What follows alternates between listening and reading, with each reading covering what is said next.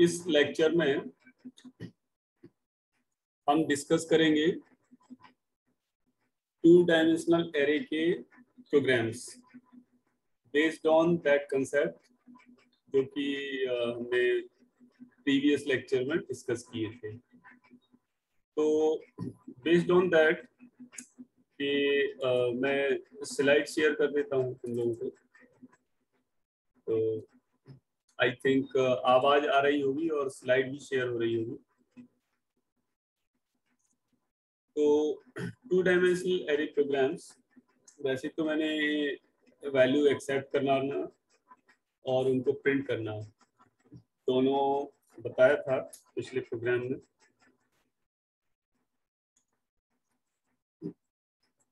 तो अब हम थोड़ा सा एक जनरल कंसेप्ट लेते हैं।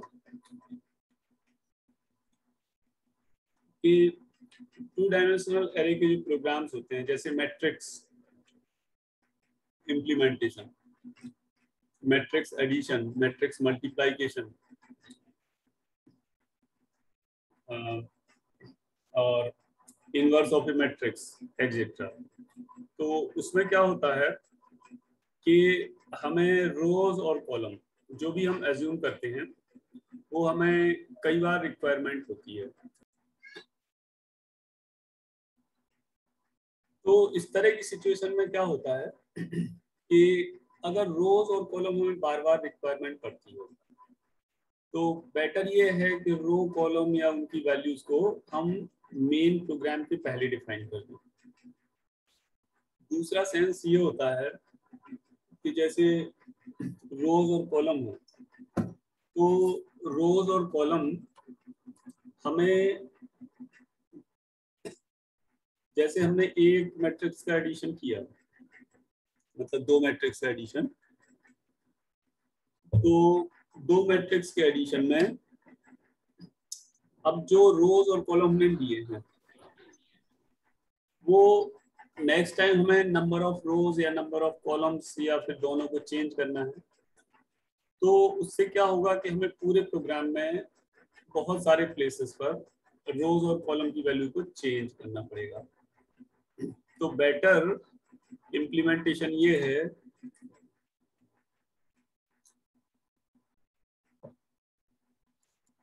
कि हम रोज और कॉलम की वैल्यू को प्री डिफाइन कर दें। तो जैसे मैंने ऊपर डिफाइन किया है hash define N three hash define N four तो ये स्ट्रेटेजी हम अपने जब वो डिस्कस करेंगे प्री प्रोसेसर डायरेक्टिव तो उसमें हम इम्प्लीमेंट करेंगे। लेकिन इस मूवमेंट पर तुम ये समझ सकते हो कि जो थ्री और M four hash defined N three और हैज़ डिफाइंड एम फोर इससे क्या होगा कि थ्रू आउट द प्रोग्राम पूरे प्रोग्राम में जहाँ भी तुम एन को यूज़ करोगे वेरिएबल एन को, वो अपने आप कंपाइलर उसको थ्री से रिप्लेस कर देगा। इसी तरह एन जहाँ भी यूज़ करोगे, वो कंपाइलर उसको फोर से रिप्लेस कर देगा। तो फॉर एग्ज़ाम्पल जैसे हमने अब डिक्लेयर किया int A N M instead of declaring int A three four तो ये जो हमने डिक्लेयर किया है इंट ए थ्री फोर इसका मीनिंग क्या है? This means automatically it will be replaced as A three four मतलब जो हम अभी तक डिस्कस करते आ रहे थे थ्री रोज फोर कॉलम तो उनकी वैल्यूज़ हमने एक्सेप्ट करा रखी है। इस प्रोग्राम का पर्पज है हमारा to dictate you how to define the values of some variables prior to declaring main अब ये पूरे प्रोग्राम के लिए वैल्यू इन जनरल होगी इसमें कोई दिक्कत नहीं जहाँ एन एन यूज़ करोगे। नेक्स्ट टाइम अगर तुमने कोई प्रोग्राम बनाया मैट्रिक्स या इस तरह के रिलेटेड एप्लीकेशंस के लिए तो अगर नंबर ऑफ़ रोज और कॉलम चेंज हो रही है तो तुम केवल यहाँ पे वैल्यू चेंज कर दोगे। बाकी पूरे प्रोग्राम में वैल्यू ऑटोमेटिक लगेगा लेकिन अगर हमने पूरे प्रोग्राम में पर्टिकुलर वैल्यू दे रखी है थ्री फोर थ्री फोर तो हमें बहुत सारे प्लेसेस पर वो चेंज करनी पड़ेगी। Better idea is this hash define something to some value तो यहाँ हमने थ्री फोर करके जो होगा तो उसकी सारी वैल्यू यहाँ एक्सेप्ट कर रखी है। तो हमारा बेसिक पर्पज है टू प्रिंट दीज वैल्यूज़ कि how to print these values actually तो इन वैल्यूज़ को प्रिंट करने के लिए हमने अपना वही इम्प्लीमेंटेशन दिया है। लूप चलाया है। ज़ीरो से लेके एम तक। और लेस देन इक्वल टू तक नहीं चलाएँगे लेस देन तक चलाएँगे।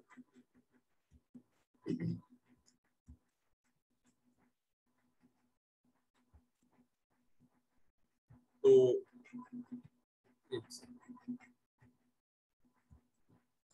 बाहर वाला लूप अगर हम ज़ीरो से चला रहे हैं तो ये भी एन तक चलाएँगे। अच्छा एन माइनस वन कर रखा हूँ। तब तो ठीक है। तो बेटर कि हम एन माइनस वन ना करके लेस देन एन कर देते हैं। और, ये थोड़ा सा जो तीन कंडीशन है, उनको थोड़ा प्रॉपर स्पेसिंग देके सेपरेट कर देते हैं। और यहाँ भी एन तक चला देते हैं इसको इसको और ये अब ठीक है। तो ये उसी तरह चलेगा loop inside the loop initially I zero J zero ये प्रिंट होगा। ए ज़ीरो ज़ीरो मतलब value thirteen I still remain zero J one हो जाएगा। This will print as A zero one फिर ए ज़ीरो टू इस तरह ये चलता रहेगा। तो ये सारी वैल्यूज़ प्रिंट कर देगा। तो अब इस एग्ज़ाम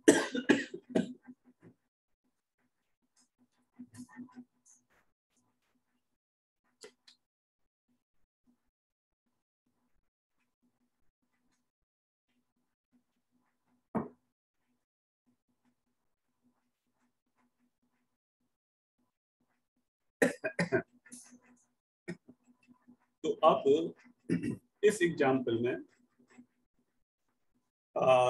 टू डायमेंशनल एरे का जो एग्ज़ाम्पल है, अब इसमें कुछ रियलिस्टिक प्रोग्राम हम ऐड कर रहे हैं। इसका जो आउटपुट इस तरह आएगा। ये न्यू लाइन जो लिखा हुआ है, इसके अकॉर्डिंगली क्या होगा कि ये इनर फॉर लूप से बाहर है प्रिंट न्यू लाइन के लिए तो inner loop inner for loop complete row बना देगा, उसके बाद न्यू लाइन आ जाएगी तो इसका आउटपुट इस तरह आ जाएगा। अब हम इसमें कुछ रियलिस्टिक प्रोग्राम देखते हैं। रियलिस्टिक प्रोग्राम मीन्स कि जैसे मैट्रिक्स एडिशन मल्टीप्लिकेशन वगैरह। तो हम मैट्रिक्स एडिशन का प्रोग्राम देते हैं। तो मैट्रिक्स एडिशन के लिए हम एक प्रोग्राम लिखते हैं।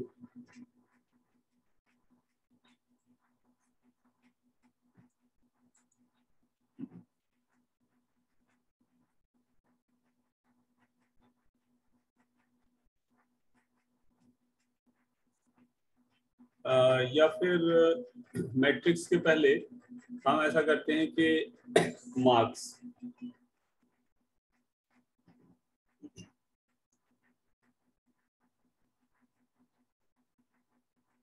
तो हम मार्क्स प्रिंट कराते हैं स्टूडेंट्स के।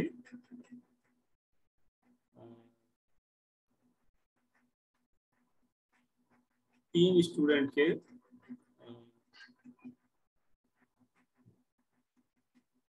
या बेटर कि हम आ, कौन सा प्रोग्राम ये एडिशन ऑफ़ मैट्रिक्स ही ले लेते हैं ठीक है? एडिशन ऑफ़ मैट्रिक्स तो एडिशन ऑफ़ मैट्रिक्स से तुम्हें आइडिया लग जाएगा कि how to write the program of two dimensional array तो एडिशन ऑफ़ मैट्रिक्स में हम क्या करेंगे कि टू बाई थ्री का मैट्रिक्स ऐड करते हैं फॉर सिंपलिसिटी। तो addition of two by three matrix. तो ये प्रोग्राम क्या है कि थोड़ा बड़ा होगा। तो बड़ा होगा तो उससे क्या है कि हम इसको दो तीन स्लाइड में प्रोग्राम को लिखेंगे। क्योंकि एक स्लाइड में अगर लिखेंगे तो फॉन्ट साइज़ बहुत छोटा हो जाएगा।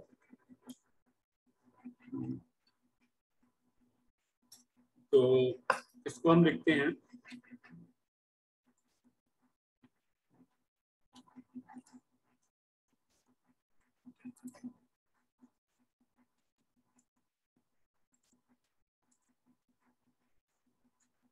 तो सी दिस अब हमें मैट्रिक्स को अगर ऐड करना है टू बाई थ्री अगर हमने पहले से ले रखा है तो मैट्रिक्स को ऐड करने के लिए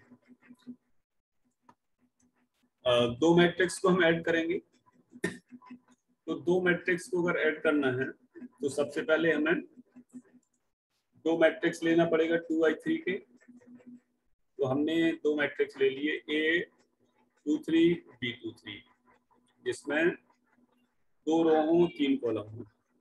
और तीसरा मैट्रिक्स हमने लिया है सी ए टू थ्री तो जो ये मैट्रिक्स हमने लिए हैं तीनों ए और बी में तो वैल्यू एक्सेप्ट करेंगे और उन वैल्यूज़ को हम ऐड करेंगे जो कि मैट्रिक्स सी में स्टोर हो जाएँगी। तो इस तरह हमारे मैट्रिक्स का एडिशन हो जाएगा। तो एडिशन का कंसेप्ट तुम लोगों ने पढ़ा हुआ है मैथ्स में। कि करेस्पॉन्डिंग एलिमेंट्स ऐड होंगे और करेस्पॉन्डिंग एलिमेंट ऐड होंगे। जैसे फ़र्स्ट रो का फ़र्स्ट कॉलम का एलिमेंट मैट्रिक्स ए का अगर ऐड होगा तो ये first row first column B के एलिमेंट से सिमिलर मतलब सेम पोजीशन वाले element of matrix B matrix क्या है यहाँ? टू डायमेंशनल है हमारा। रो और कॉलम के फॉर्म का?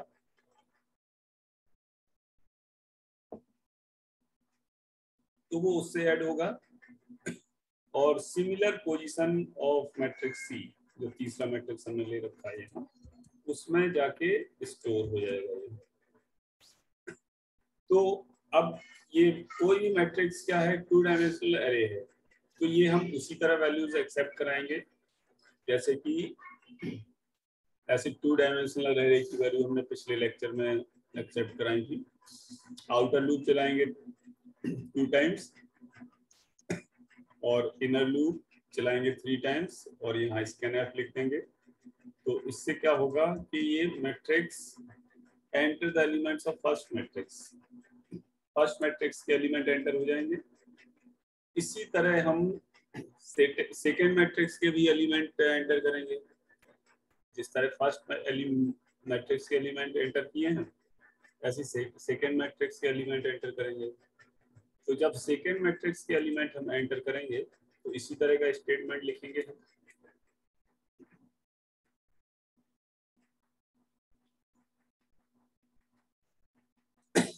और मैट्रिक्स एडिशन में हम क्या करेंगे?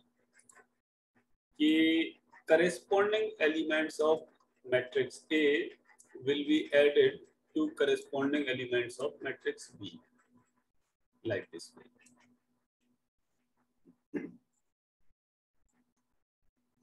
इस तरह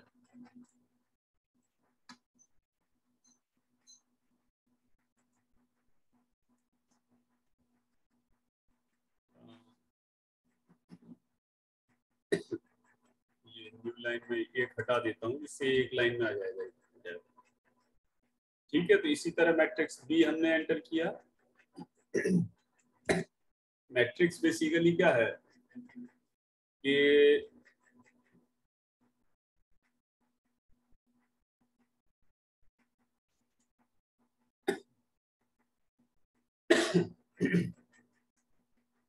मैट्रिक्स बी और मैट्रिक्स ए ये रो और कॉलम वाइज दो लिस्ट हैं। तो अब दोनों ही मैट्रिक्स के करस्पॉन्डिंग एलिमेंट यहाँ ऐड होंगे। ए का और बी का। तो ये जब ऐड होंगे तो क्या होगा? कि जब ये लूप चल रहा है बाहर वाला तो आई की वैल्यू ज़ीरो हुई इनिशियली तो जे की ज़ीरो होगी। तो ए ज़ीरो ज़ीरो ऐड होगा बी ज़ीरो ज़ीरो से, और सी ज़ीरो ज़ीरो में स्टोर हो जाएगा। फिर नेक्स्ट वैल्यू होगी आई तो ज़ीरो ही रहेगा ज़ीरो वन तो A zero one plus B zero one फिर करस्पॉन्डिंग एलिमेंट ऐड होगा। मतलब पहली row I equals to zero represents for the first row तो फ़र्स्ट रो ऐड होगी corresponding elements of first row of second matrix और ये store हो जाएगी किसमें? तीसरे मैट्रिक्स अगर ए ज़ीरो ज़ीरो पहला जो भी करस्पॉन्डिंग एलिमेंट फ़र्स्ट मैट्रिक्स का होगा, वही सेकंड मैट्रिक्स का होगा, और दोनों ऐड होके मैट्रिक्स सी के फ़र्स्ट रो के फ़र्स्ट एलिमेंट मतलब जो करस्पॉन्डिंग एलिमेंट ए का है, वही बी का है, और दोनों ऐड होके सी के उसी एलिमेंट में करस्पॉन्डिंग में ऐड हो जाएँगे। तो इस तरह ये पूरी छह वैल्यू के लिए चलेगा। दो रो है, तीन कॉलम तो all the six values will be added छह वैल्यू मैट्रिक्स ए की, छह वैल्यू मैट्रिक्स बी की ऐड होके तो corresponding six values of matrix C में स्टोर हो जाएँगे। अब हम इनको प्रिंट करा सकते हैं इन वैल्यूज़ को। तो इनको हम प्रिंट कराना होगा तो मैंने पिछले लेक्चर में बताया था कि हाउ टू प्रिंट तो प्रिंट भी उसी तरह होगा। दोनों लूप चलेंगे और दोनों लूप चलेंगे तो वहाँ पर, जब दोनों लूप चलेंगे तो वहाँ पर क्या होगा?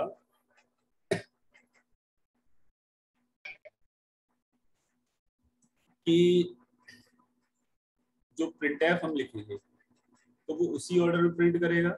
बाहर वाला loop number of rows print करेगा, अंदर वाला loop all the elements of that particular rows तो इस तरह हमारा मैट्रिक्स प्रिंट हो जाएगा। तो ये बाकी जो प्रिंट है प्रिंटिंग वाले स्टेटमेंट हैं, वो मैं यहाँ लिख देता हूँ।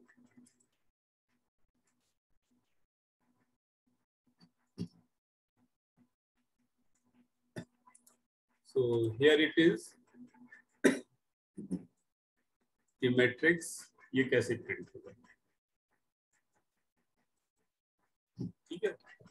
एडेड मैट्रिक्स हमने ऊपर प्रिंट एफ़ लिख दिया और आउटर लूप चला दिया ज़ीरो से टू तक। उसके अंदर इनर लूप चला दिया। और ये ब्रेसेस अगर, ये हमने इसलिए लिखे हैं braces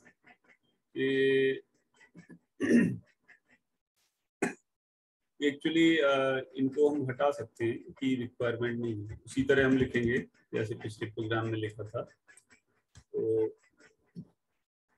it will be like this तो ये बाहर वाला लूप है, उसके अंदर एक स्टेटमेंट अंदर वाला लूप उसके अंदर एक प्रिंट है तो लूप उसी तरह चलेंगे और ये एलिमेंट्स प्रिंट हो गए आते रहेंगे। उसी ऑर्डर में। तो ये हो गया हमारा एडिशन ऑफ़ मैट्रिक्स प्रोग्राम अब इसके आगे हम एक और प्रोग्राम पर चलेंगे। लेकिन उसके पहले हम एक मिनट का ब्रेक ले लेते हैं। फिर एक मिनट बाद में इसको कंटिन्यू करता हूँ इस लेक्चर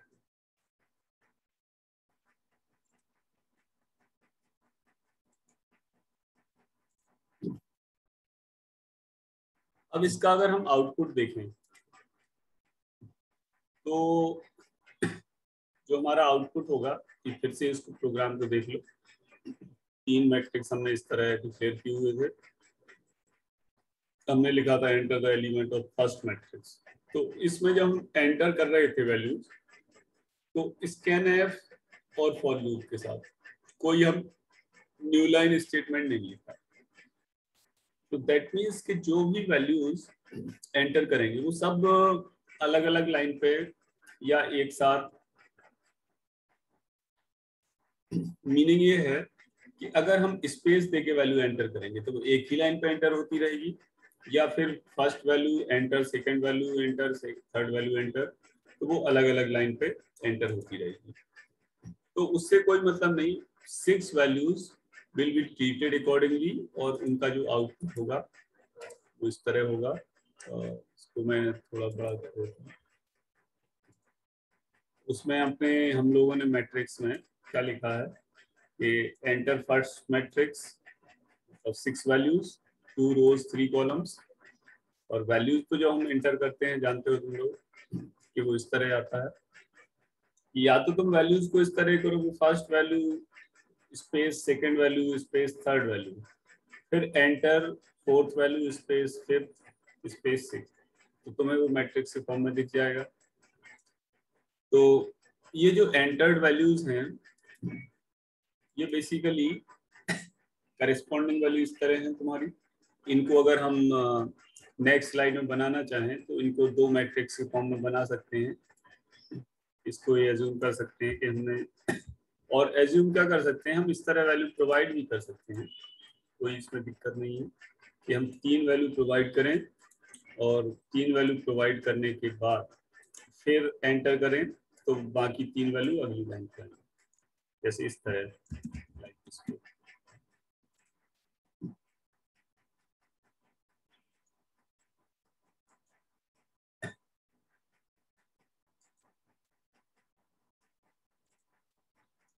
तो like this way we can enter okay three values ये हम इस पैटर्न में भी तीन वैल्यूज़ को एंटर कर सकते हैं।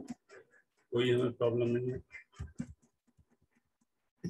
तो it will look like a matrix two by three का मैट्रिक्स है टू रोज थ्री वैल्यूज़ तो ये हमारा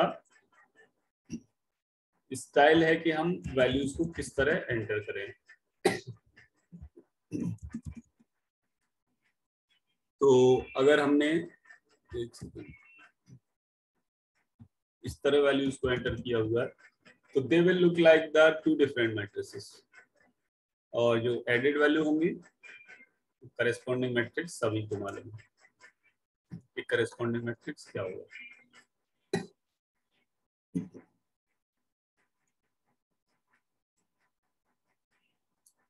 अब इसको हम इस प्रोग्राम को, जैसा कि मैंने वो कंसेप्ट बताया था तुम लोगों को हैश डिफाइन करके। तो उस कंसेप्ट से भी बना सकते हैं। तो अगर हमें उस कंसेप्ट से इस प्रोग्राम को करना है, जिसमें हमने हैश डिफाइन करके बनाया था तो उस कंसेप्ट से क्या होगा कि हम पहले ही इसको वो आई थिंक ये स्क्रीन शेयर नहीं हो रही है। इसमें मेरे में लिख के आ रहा है स्क्रीन शेयर इज़ पॉज तो कितनी देर से स्क्रीन शेयर नहीं हो रही है?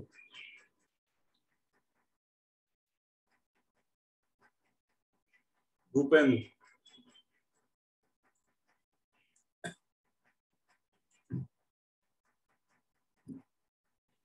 भूपेंद्र सिंह, तुम बताओ कितनी देर से स्क्रीन शेयर नहीं हो रही है?